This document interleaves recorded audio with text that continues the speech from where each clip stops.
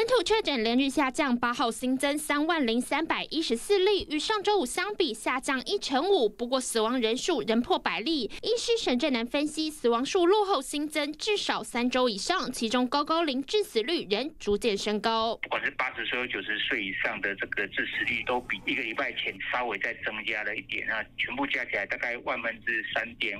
左右了。根据指挥中心统计，整体致死率从上周的万分之十六攀升至本周万分之十七，其中九十岁以上高龄长者致死率已飙到百分之七点零二。另外，国内零到九岁幼童染疫人数达四十二点八万例，占整体确诊数的百分之十点八，中重症比例达万分之七。林口长庚副院长邱振寻指出，高龄者和幼童仍是疫情关注重点，特别是儿童、幼童疫苗覆盖率不高，甚至很多。都没打疫苗，因此导致确诊数攀升。至少要打两剂以上，它才能够有呃这种持续性的免疫发生。但假如说只有打一支疫苗的话，那它的效果是非常低的。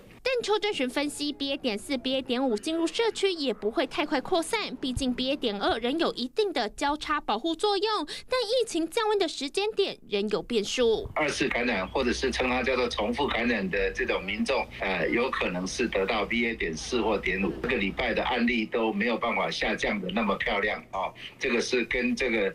呃，是有关系。BA. 点四、BA. 点五一定还是长者的威胁啊哈，因为你在被 BA. 点 two 感染过后哈，那抗体的这些效价哈，那对 BA. 点四、BA. 点五其实还是会打折的。医师提醒，年纪大或高风险族群确诊康复后再感染的后遗症都可能更严重，千万别因为本土疫情暂时降温而放松防疫心态。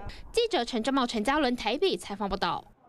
我们要告诉大家，我们有优惠，我们中天的网友哦，这些东西都可以在我们快点购网站上头来购买。现在有三种不同的好康组合，购买的时候呢，不要忘记我们有非常多的这个折扣代码可以给大家来输入，可以享有一些优惠好康。